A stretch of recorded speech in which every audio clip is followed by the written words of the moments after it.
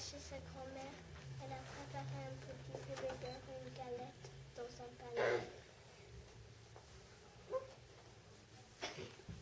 Pour changer, je vais passer par la ville au lieu de passer par la forêt.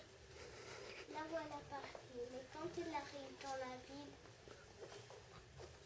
un petit garçon se précipite sur elle et pousse à l'école.